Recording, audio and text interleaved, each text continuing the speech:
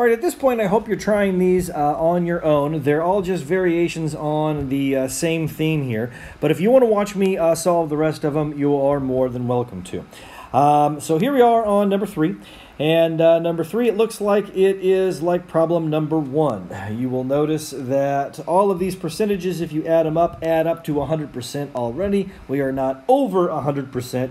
So this is really just a matter of going through the math.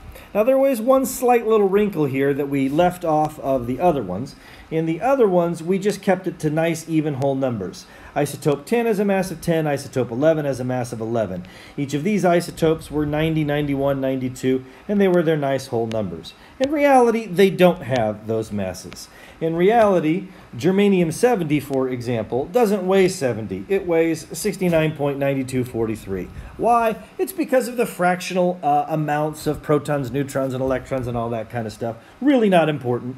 Uh, just suffice it to say that they may give you more hyperspecific masses than the rounded uh, decimal or the, the rounded whole numbers that you would see um, in, in a convenient format. So if they tell you that you have germanium 70 and then they give you this really annoying number behind it that's really, really close to 70, don't use 70, use the 69.9243.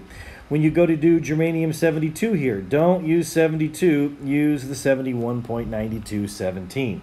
Clearly, that's what it is that they want you uh, to do. So, if that's the case, then all it does is make it so that we have slightly uh, more work to do as far as the calculator is concerned. So here we are. This guy here is the uh, germanium 70, which is this guy here. So all I got to do is make sure I get the correct numbers. So this is 69.9243. And apparently it has an abundance of 20.5%. So that would be 0.205. And if I've done my math right on this, that would be 14.33 for its fraction. All right. Next up is this guy here, which is this guy here.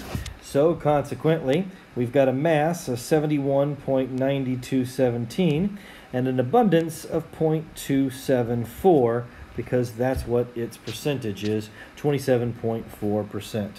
Assuming I have done my math right, this is 19.71. Our next one is this guy here, number 73, which is this guy here. So that's 7.8% at that amount. So that's 72.9234. Remember, you have to move the decimal place twice, so that would make it 0.078. Going to end up with the wrong number if you don't decimalize it appropriately. So that's 569 that's there.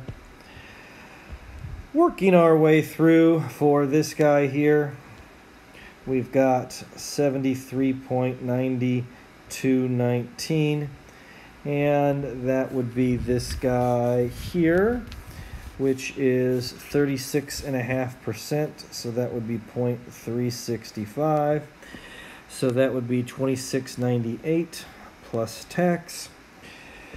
And finally our last one here which is that guy there which is that guy there so that's going to be 75.9214.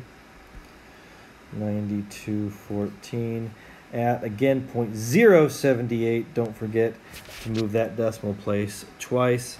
Assuming I've done my math right that's 592 that's each of the isotopes. Now we add them all up to get our total weighted average and we end up with 72.63